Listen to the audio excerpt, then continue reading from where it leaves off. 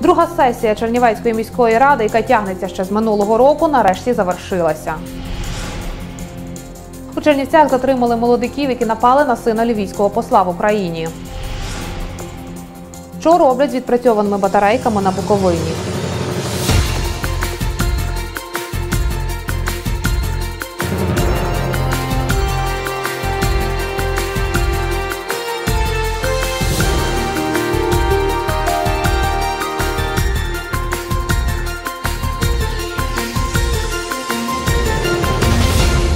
20.30 підбиваємо підсумки четверга, 4 лютого. Мене звуть Марина Скінте. Я вас вітаю. Розпочинаємо. Рекордно довга друга сесія Чернівецької міської ради, яка тягнеться ще з минулого року, нарешті завершилася. На семи пленарних засіданнях депутати обговорювали кандидатуру секретаря міськради та членів виконавчого комітету. Їх навіть заслуховували в стінах ратуші. Щоправда, народні обранці претендентів не підтримали. Втім, у вівторок затвердили регламент, а нині положення про постійні комісії.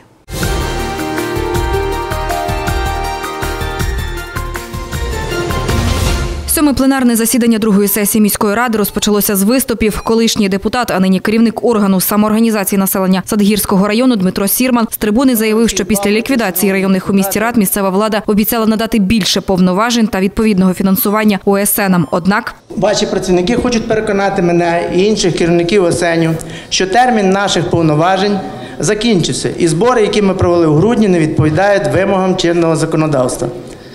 То виконавчий комітет міської ради, який діє на період скликання, на сьогодні повноважний орган, тому що ви всі не можете обрати новий склад виконкому.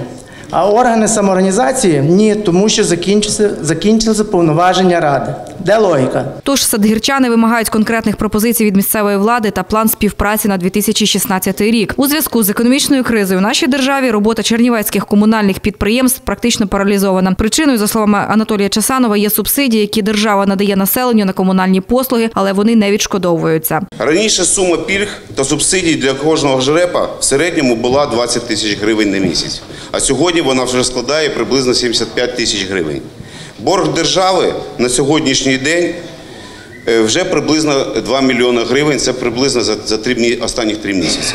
За словами Анатолія Часанова, наразі держава боргує кожному жрепу по 180-200 тисяч гривень, а складова тарифу на житлово-комунальні послуги не коригувалася з 2010 року. Жрепи не можуть здійснювати свої фінансові господарські розрахунки, і в зв'язку з цим відбувається ріст кредиторської заборгованості перед Чернівці Ліфт, Чернівці Обленерго, ростуть борги за оплату субпідрядних організацій, які виконують важливі послуги. Тому жрепи не мають змоги проводити аварійні роботи та поточні ремонти будинків. А також це може призвести до того, що працівники комунальних підприємств можуть залишитися без зарплати. У зв'язку з цим депутати міської ради направили звернення до Кабміну та Верховної Ради України. А потім народні обранці перейшли до порядку денного і передусім затвердили положення про постійні комісії міськради. В ньому було дуже багато інноваційних краплень від громадськості, але на жаль, е, частина з них технічно неможливо виконати у залах міської ради, тому що немає аудіо, відео записуючої е, техніки.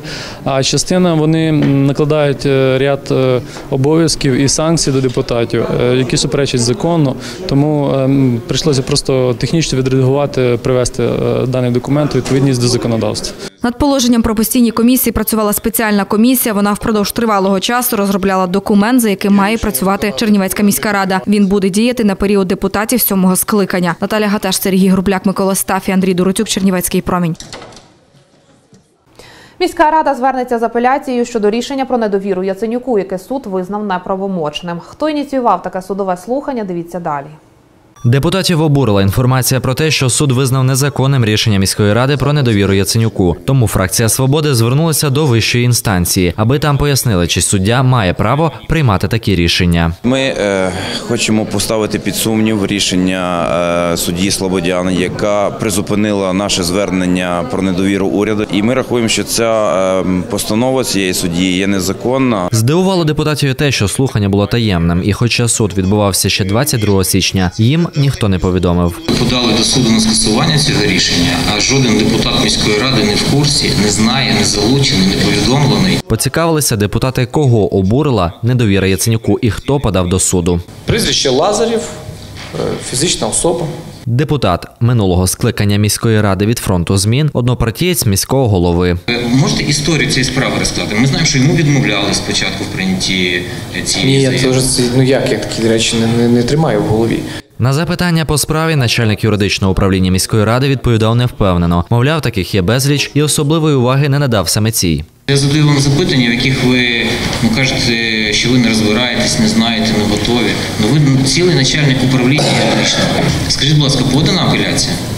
Ні. А чому не подана апеляція?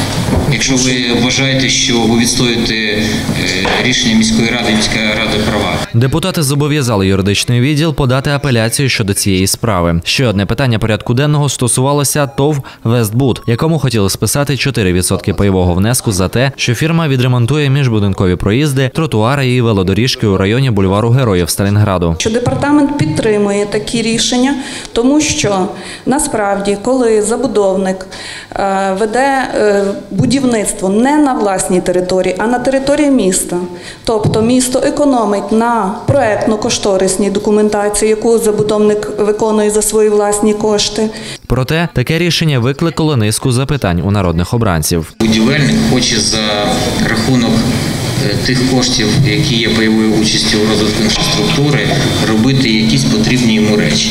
Тобто, якщо це ем, якийсь благоустрій, який потрібний місту, то будь ласка, нехай він засплатить цю пайову участь і місто зробить те, що місту потрібно. Депутати розповіли і про те, що жителі довколишніх будинків скаржилися на цього забудовника. Дуже багато нарікань, дуже багато зауважень було, що підприємство своїми машинами порозбивало все, що можливо.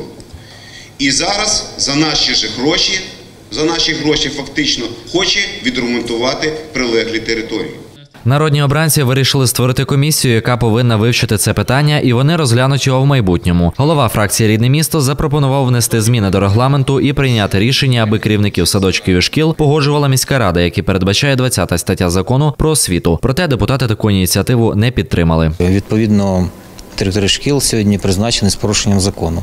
Треба привести цю норму у відповідність до чинного законодавства. Звичайно, міський голова хоче одноосібно призначати чи затверджувати директорів шкіл, але насправді це абсолютно неправильно. Є пряма норма закону, яку треба, якої треба дотримуватись і яку треба приймати. Міський голова не дав повернутися до ще одного рішення, а просто закрив сесію. Обов'язково я буду звертатись в комісію по законності, буду звертатись до міського голови, щоб це рішення не підписувалось і щоб було на наступній сесії мало можливість до нього повернутися. Наступна чергова сесія міської ради запланована на 25 лютого. Олександр Докін, Андрій Дротюк, Чернівецький промінь.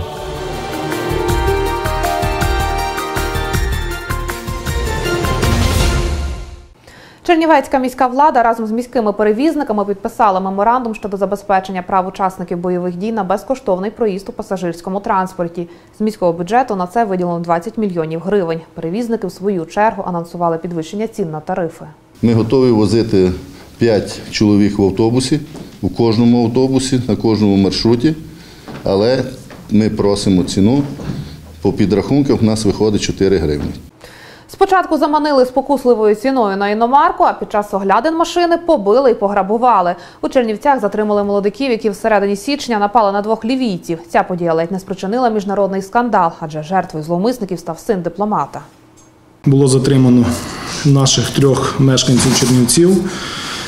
Це е, один 96-го року, 94-го і два 94-го року. Зловмисники розмістили в інтернеті повідомлення про продаж автомобіля Audi 2006 року випуску за ціною 3 тисячі доларів США. На оголошення відгукнулися з Києва двоє іноземців, один з яких син посла Лівії в Україні. До Чернівців чоловіки прибули на потязі 17 січня. Лівійці приїхали на рощу, а ці вже їх там чекали зі зброєю. Та замість обіцяної машини погрози пістолетом і ножем. Завдяки ним зловмисники відібрали у лівійців сумку з грошима трьома тисячами доларів США і двома тисячами гривень. Іноземці відбулися переляком. Сутичка сталася без нанесення тілесних ушкоджень. Внаслідок оперативних дій поліцейські розшукали трьох нападників. Усі вони раніше мали проблеми із законом. Один судимий за квартирні крадіжки, за грабіж і за е, хуліганство частина четверта, які теж тяжкі злочини.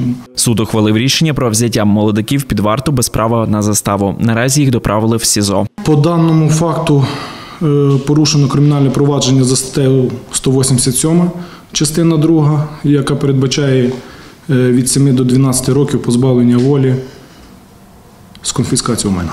Представники поліції закликали буковинців бути обережними під час купівлі товарів в інтернеті і у разі будь-яких підозр відмовлятися від покупок. Павло Монахов, Андрій Доротюк, Чернівецький промінь. Далі у випуску: що робити з відпрацьованими батарейками? Як за рік зробити так, аби Чернівецький стадіон приймав міжнародні змагання? Але спершу огляд новин від наших журналістів.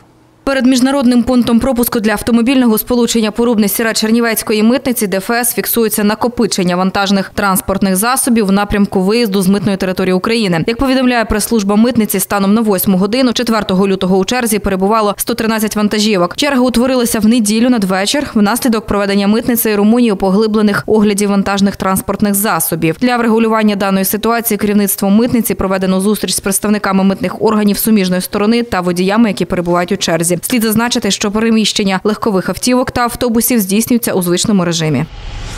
Народні депутати України проголосували за зміни до державного бюджету на 2016 рік, якими повертають державне фінансування професійно-технічних училищ. Освітня субвенція на ПТУ складає 2 мільярди гривень. Решту 3 мільярди фінансуватимуться за рахунок місцевих бюджетів. У рамках децентралізації професійно-технічні училища перейшли на фінансування від обласних адміністрацій чи бюджетів міст обласного значення. Проте 78 професійно-технічних закладів України залишилися без грошового забезпечення, бо влада на місцях не включила їх в бюджет на 2016 рік. Крім того, на місцях відмовлялися фінансувати навчальні заклади, де більша частина учнів мешканці інших областей.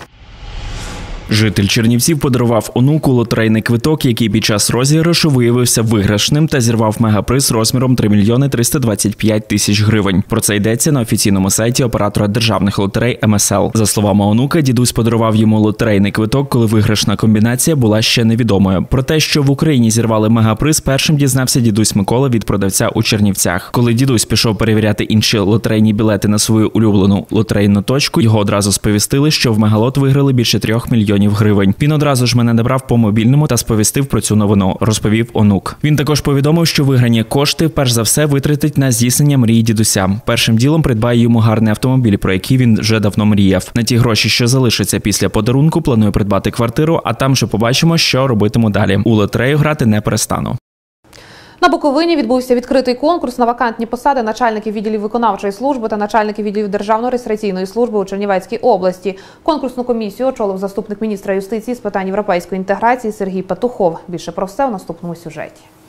Взяти участь у конкурсі зголосилися претенденти з чотирьох районів: Сторожинецького, Кіцманського, Заставнянського та Новоселицького. Щодо інших, то там начальники відділів обрали ще у жовтні 2015-го. Нині претенденти на посади здали письмові тести, а також пройшли співбесіди. Головні вимоги до них це професіоналізм, організаційність та досконале знання законодавства. Все-таки треба враховувати, що за 15-й рік було прийнято цілий ряд змін до законодавства, яке безпосередньо регулює діяльність е, головного територіального управління юстиції та окремих структурних підрозділів цього управління. Претенденти розповідають, мають чимало планів для удосконалення виконавчої влади на місцях. У відділі потрібно піднімати фактичне виконання іменно е, як не тільки кількість там позавершених виконавчих проваджень по сумах, а іменно і фактичне виконання. Також організовувати роботу відділу, е, перевіряти виконавчі провадження, виносити відповідні постанови.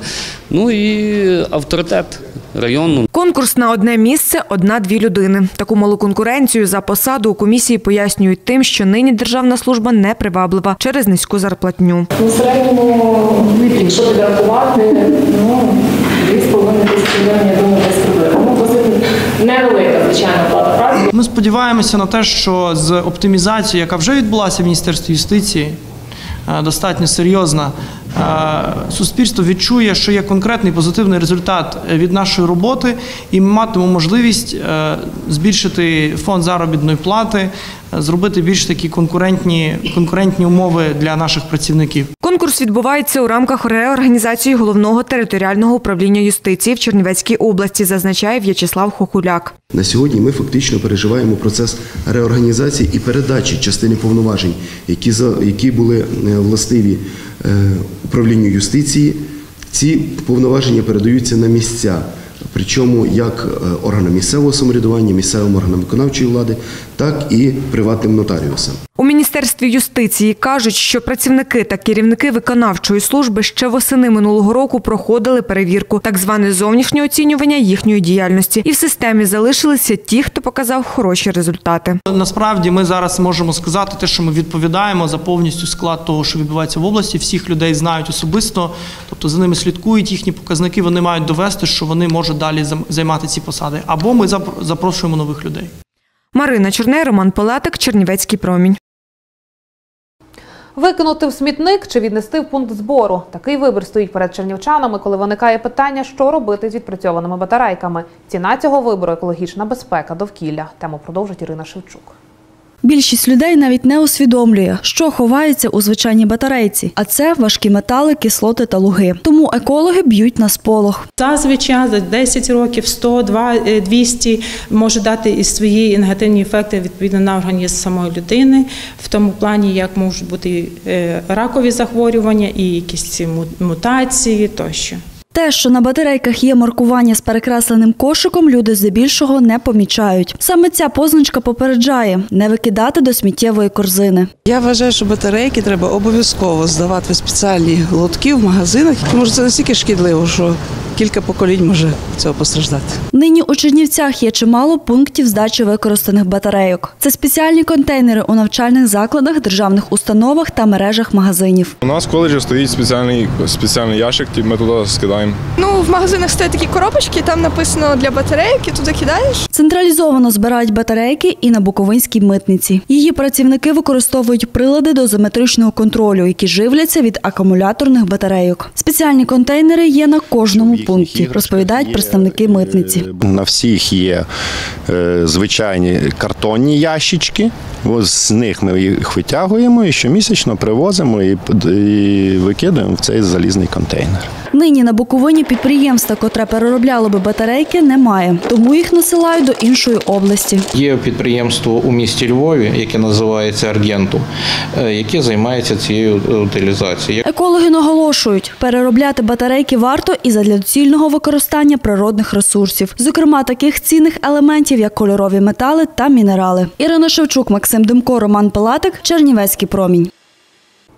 Стадіон серце місцевого спорту. І за словами експертів, чернівецьке серце трохи хворіє. Проте панацея є, впевнені місцеві спортивні ентузіасти. Як за рік зробити так, аби чернівецький стадіон приймав міжнародні змагання? Дивимось.